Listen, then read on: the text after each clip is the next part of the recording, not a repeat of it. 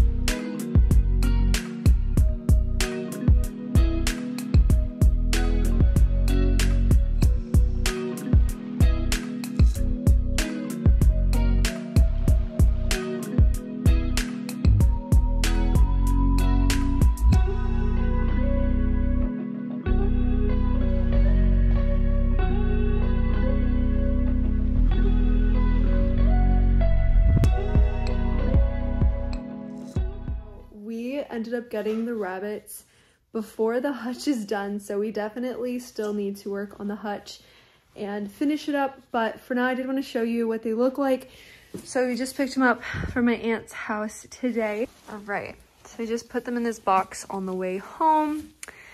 I know, it's not a pet carrier, but anyways, from what we can see, they look both like females, but she did mention that if they turn out to be um, opposite genders, we can always switch one out so that they can be the same. We have this little white guy and then we have this little dark brown, almost black. Their mother is a Rex and their father is a lion head, I think. And they're born on Christmas Day. And I'm going to set up where they're gonna sleep for the night because like I said, their hutch is not yet ready for them. We have the bedding here, their pellets, and then their watering can. I'm going to try this out and see how I like it. It's gravity water system. So I'm going to see if this works for them. And they're very, very used to drinking out of water bottles, but I personally don't want to use water bottles because I've heard that rabbits can easily become dehydrated because they just don't drink enough. And this is a much more natural way for them to get their water.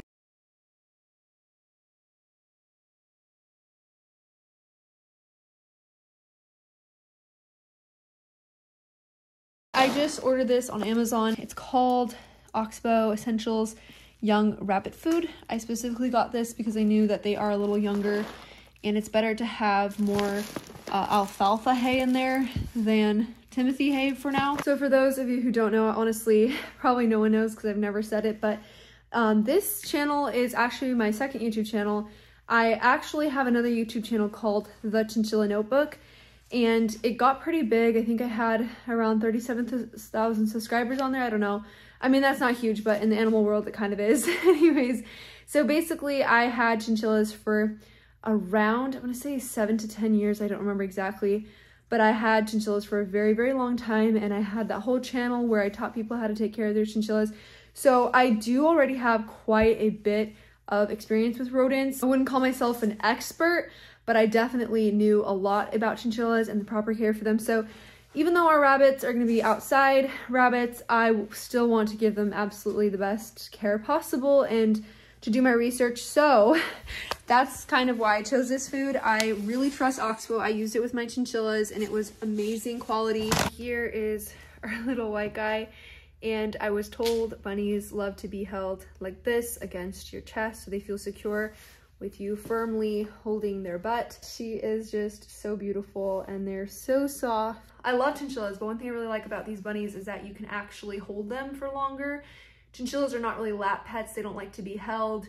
They're very, very fragile. I know bunnies are too, but chinchillas just especially, I don't know. They were absolutely wonderful, but bunnies are a whole different ballpark, I feel like. If you have any tips for me on bunny care, please let me know in the comments. I am not a professional. I've done quite a bit of research. I've talked to my aunt quite a bit, but there's still things that I could learn. So if you guys have any advice, if you see me doing something wrong, please let me know. Know that there's a lot of people who don't agree with keeping bunnies outside. They believe bunnies need to be indoors. I guess where I stand with that is that obviously these guys have for many generations been outdoor rabbits, but also if you provide them a good home outside and you're not neglecting them and you're taking good care of them, then I know that they can thrive just as much. I'm specifically asking advice from rabbit owners who keep their bunnies outdoors. We're definitely gonna need to cover this with some fencing or something for the night because I don't want them getting out. So it's the next morning and we have our two bunnies here on the couch and we're just cuddling with them. They are doing really well. I woke up this morning and first thing I did was go get them. Just like a fluff bomb. Adorable. So yeah, this is their dedicated towel from now on. So they get to be picked up and cuddled in this. I'm gonna go get the the black one and hold him for a bit too. My husband is still working on my husband's still working on the little hutch. It's taking us a little longer than I thought. We were hoping to have the bunnies in there by tonight. Definitely seen a little bit more of their personalities come out. This guy is just a little more calm and the other guy is definitely more adventurous and outgoing. They're both extremely friendly and love to be held.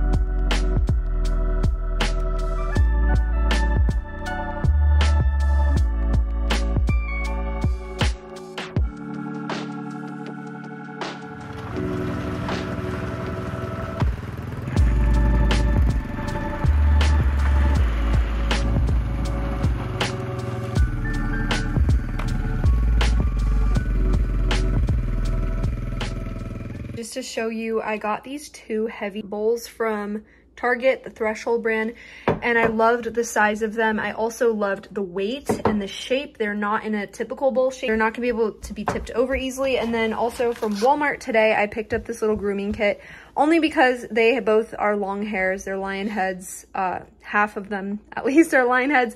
So I wanted to make sure that they had this. We moved it from where we were building it over into like the side of our house here. I stained it today with wood so sealer. This is where we decided to place the hutch here up against the house.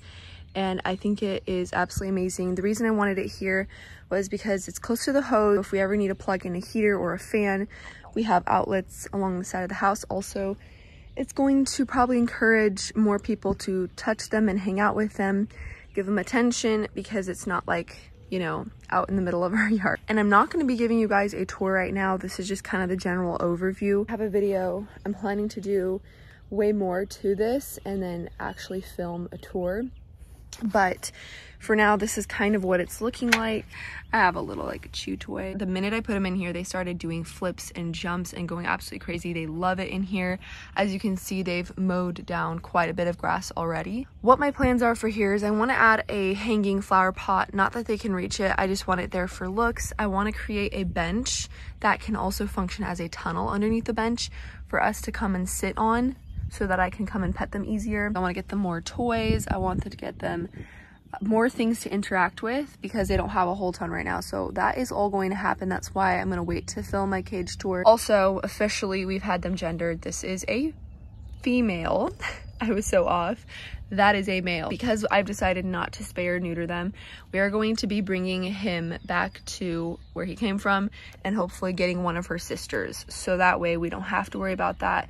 I personally just don't want to spay them because I want to leave them natural but also not to multiply. I want them to be with the same gender. So they're um, all from a litter. I think there's six or seven in their litter, so plenty of options. Um, but I've grown really attached to her especially and I have to choose a new name. That is it. That is us getting our little bunnies. I'm going to add a lot more entertainment and stimulation for them. I hope you guys enjoyed and let me know if you want to see some more bunny content and I will see you guys in the next one.